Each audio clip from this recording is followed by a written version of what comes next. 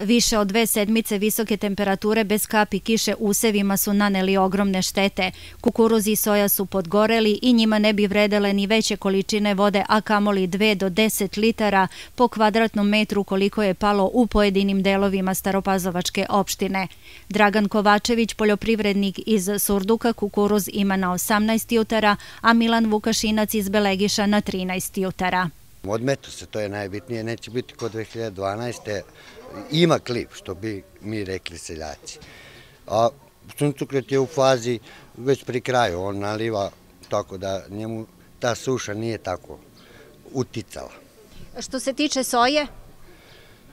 Pa soja nije u dobrom stanju, njoj treba mnogo više vlage i tako da je u kritičnom sve zavisi kako koja sorta. Najbolje podnose suš ovi naši domaći hibridi i BC hrvatski hibridi. To mi se do sada pokazalo najbolje. E sad, rani kukuruz je bolji, više je nalio zrno. Ovaj što je kasniji, to je pitanje. Ako ne bude kiše, bit će mnogo lošiji. Rani će biti bolji, tako da sve zavisi od vremena. Obojica naših sagovornika sejali su rane sorte žutog zrna i kažu da će prinosi biti znatno manji sa lošim kvalitetom zrna.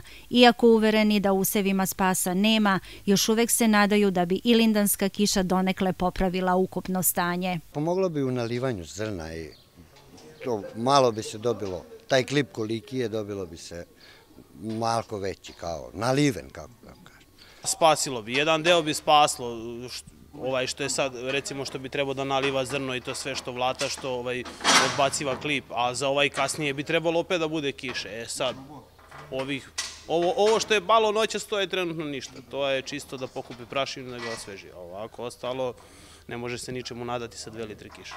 20 litara kiše tu bi moglo, moglo bi da se dobije nešto. E sad sve zavisi što kaže koliko i šta. Ne bi propao sav usev, ali bi se izvuklo 50%.